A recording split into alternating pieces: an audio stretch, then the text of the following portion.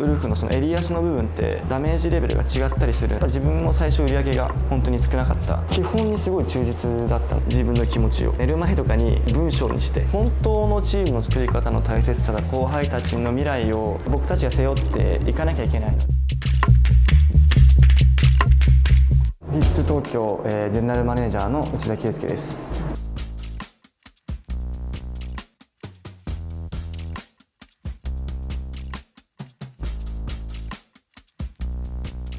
はいえーとまあ、そのメンズパーマの、えーと、セミナーになってくるんですけどこう今ちょうどレングスとかがあのメンズパーマでもいろいろある中でその中でこうウルフ×、えー、パーマの、えーと、セミナーを今回させていただきたいと思っております。こうメンズパーマずっとやってきてるんですけどその中でまあ僕の作り出すその、まあ、ウルフの、えーとシルエットだったりとか、まあ、その質感だったりとかはちょっとあのまた人とは違う雰囲気を出してると思うのでそこにちょっと着目してみていただけたらありがたいなと思います。一番最初はもともとフィッスっていうとそのメンズパーマっていうブランディングがあった中で、まあ、ツイストスパイラルだったりとかあった中でこう、まあ、自分がどういうふうに差別化できたらいいのかなと思った時に何巻きパーマだったりとか、まあ、そのツイストスパイラルをちょっと部分部分に駆使しながらなおかつレングスでウルフパーマをやってる人があんまりいなかったんでメンズの。まあ、そのウルフパーマに着目して、えっとまあ、この1年半ぐらいですかね。こうレングスを変えつつやってきたのがこう今の自分のブランディングになってきてるのかなと思います。けどやっぱり朝と夜は練習しましたね。練習してなおかつこう自分らはその生産性とかもやっぱ求められるのでこうアシスタントと一緒に巻き込みながらこう、まあ、自分と、まあ、アシスタントの子で一緒に朝ウィッグ巻いてそれがこうどんどんどんどんあのいろんなあの構成ができたりとか、まあ、それに対して何分で巻けるのかな、まあ、ウィッグなんですけどもウィッグに対して何分で巻けるのかなってとこをこう一緒にやりながらえーと、なんか形を作っていきましたね。お客様をその施術する前ですかね結局やっぱ朝とか夜とかその営業時間外にこういった構成をやっていくとか、まあ、あとその構成についてこういうふうにあの自分は作りたいからこういう構成でやっていきたいとかを、まあ、営業時間外に結構話したりしてでそれをまあウィッグでやってでお客様に施術させていただく時とかにその構成を使っていくような感じですかね。スタイルに関しては質感だったりとか、まあ、どうしてもこう柔らかくあの綺麗に360度シルエットができてるものは絶対意識してますね。まあ、あとは今はこうファッション×ヘアとかそういった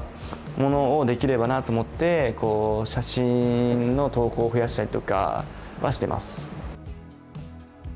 壁との奥行き感だったりとかそのお客様とか、まあ、モデル様が持っているそのなんか個性をちゃんと自分の観点の中で見出してそこを生かしながら写真を撮るようにしてますね。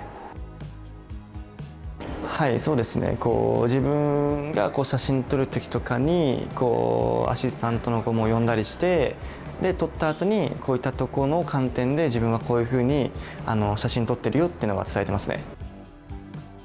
自分の中ではこう教育してるっていうつもりは全然ないんですけど自分が所属する会社、まあ、自分が任されてるあの店舗の後輩たちの未来をやっぱ僕たちが背負っていかなきゃいけないのでその責任をちゃんと持ちつつその子たちが本当に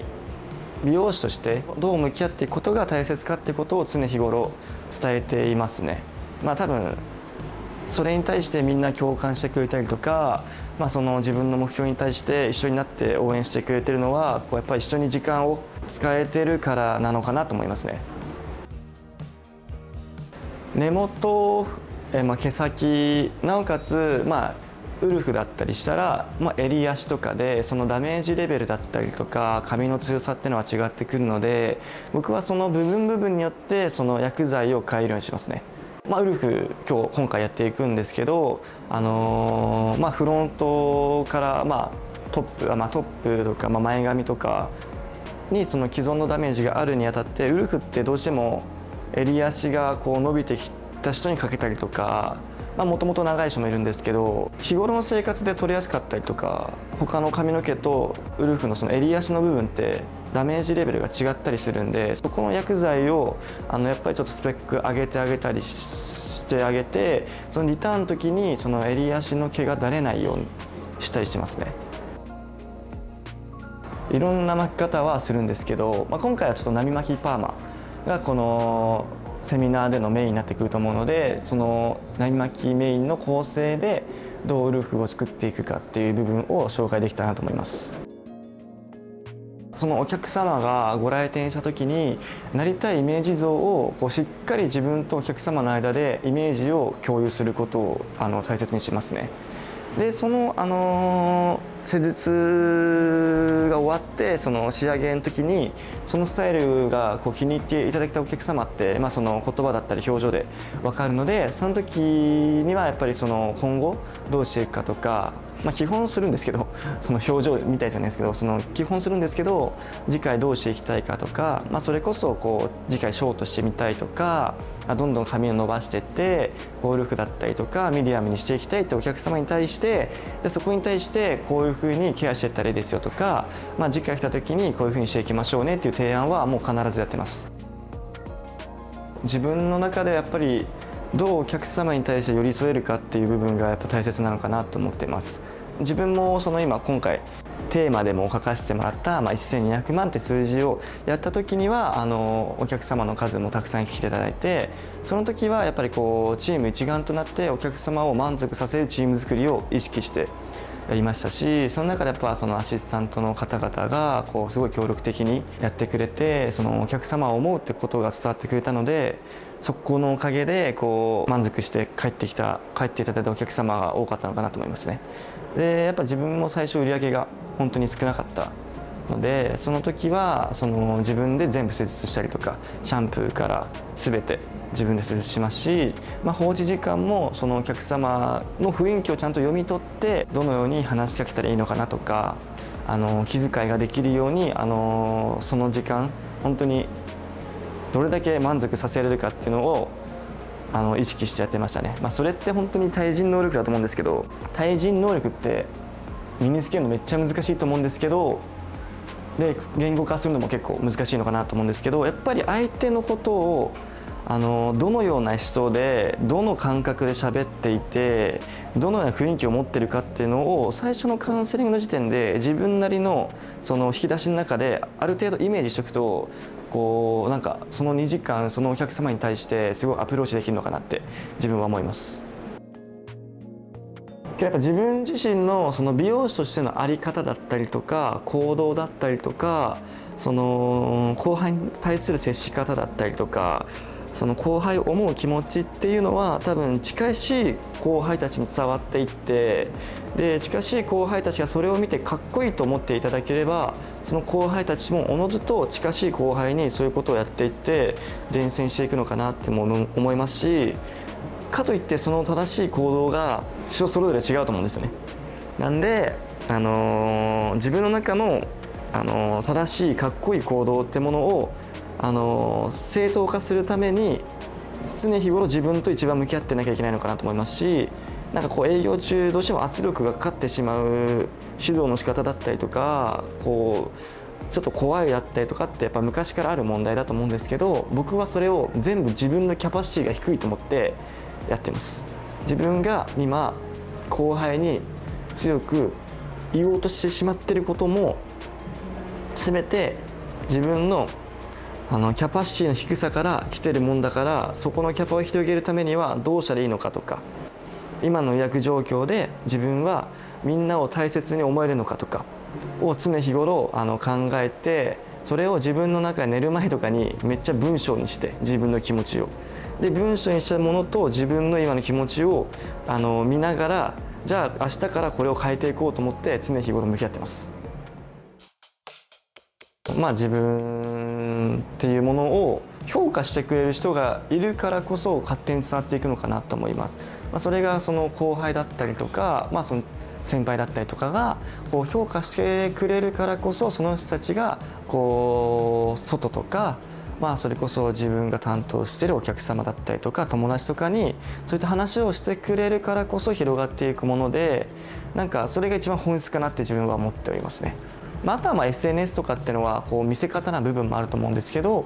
まあ、そこでも主観で見て何がかっこいいのかとか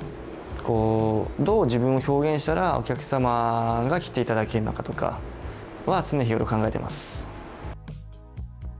アシスタント時代に技術習っていた、えーとまあ、師匠的な人がいたりとかして、まあ、その人の施術がすごい丁寧だったりとか基本にすごい忠実だったので本当に毎週